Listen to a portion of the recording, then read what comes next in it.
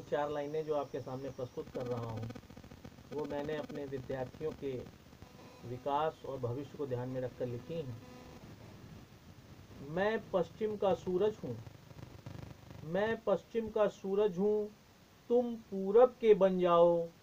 मैं निस्तेज तिमिर का वाहक, तुम पथ के दीपक बन जाओ।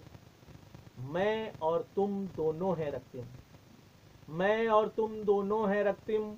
अंतर बस इतना पाता हूँ। तुम उगने का अर्थ लिए मैं उगने की राह बनाता हूँ। तुम उगने का अर्थ लिए मैं उगने की राह बनाता हूँ। धन्यवाद।